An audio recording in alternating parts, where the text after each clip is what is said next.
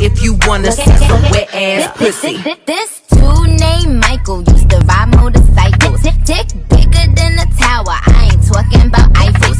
Real country ass nigga, let me play with his rifle. Pussy put his ass to sleep. Now we calling me.